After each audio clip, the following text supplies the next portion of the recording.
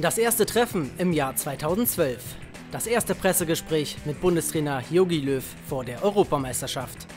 Die Pressekonferenz nicht in einem großen Konferenzraum, es ist die Lobby des Hilton Hotels am Münchner Tucherpark. Löw sichtlich entspannt. Dabei liegen bereits anderthalb Marketingtage hinter dem Bundestrainer und seinen Spielern. Bis Montagabend dauern die Werbedrehs in der Bavaria Filmstadt noch an. Es ist natürlich interessant am Filmset die ganzen Abläufe mal zu sehen, weil sie auch so gewisse Parallelen hat zu einem Team wie einer Fußballmannschaft. Auf der anderen Seite klar ist für die Spieler auch ungewohnt, lange zu sitzen und lange Wartezeiten zu verbringen. Das wichtigste Thema dennoch die Europameisterschaft. In gut vier Monaten ist es soweit. Die EM in Polen und der Ukraine. Die Spannung würde ich sagen, natürlich steigt die jetzt mit jeder Woche, mit jedem Monat mehr. Für die Spieler hingegen spielt die Endrunde noch keine so große Rolle. Die Spieler sind ja mit ihren Gedanken eigentlich schon auch noch in ihrer Aufgabe im Verein, weil da gibt es aktuell im Tagesgeschäft natürlich auch viele, viele Dinge jetzt zu bewältigen. Und mit der Champions League, ganz große Aufgabe. Die EM ist für die Spieler eher so ein bisschen im Hinterkopf.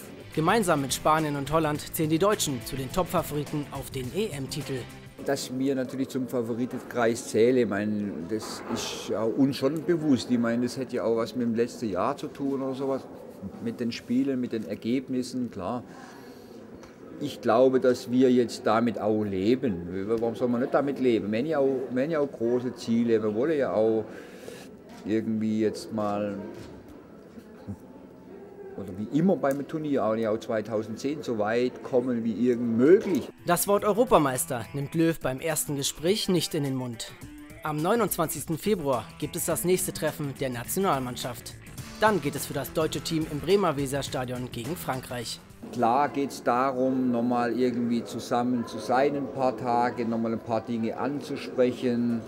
30 Minuten dauert das Gespräch mit Jogi Löw. Auch am Ende zeigt sich der Bundestrainer entspannt und zu Scherzen aufgelegt bei der Frage, ob er demnächst José Mourinho bei Real Madrid ablöst. Ja, der Mourinho soll noch durchhalten bis 2014, bis mein Vertrag ausläuft.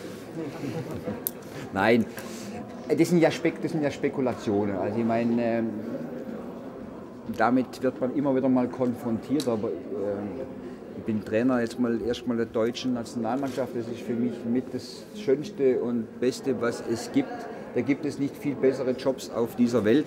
Traumberuf Bundestrainer. Am 1. Juli findet das Finale der Europameisterschaft statt. Vielleicht wird er dann auch der Traum vom EM-Titel wahr.